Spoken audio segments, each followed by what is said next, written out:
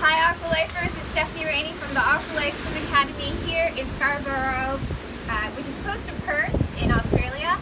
So you can see behind me the sun is going down. I just want to say a little ode to the Australians here because, you know, they really do know how to live, especially by the ocean. So you can see, if you look around here, there's people who are watching the sun go down.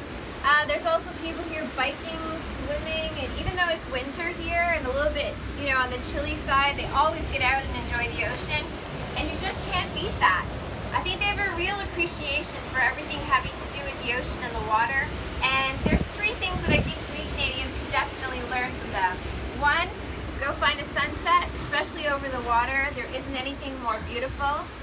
Two, if you're feeling kind of, you know, midday, like you had a crappy day, you just want to get away, drive your car down by the water and just hang out until you feel better.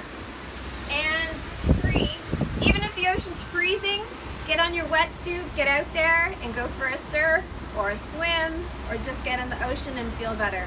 So from Australia, good night and may the sunset be as beautiful where you are as it is here. Yeah.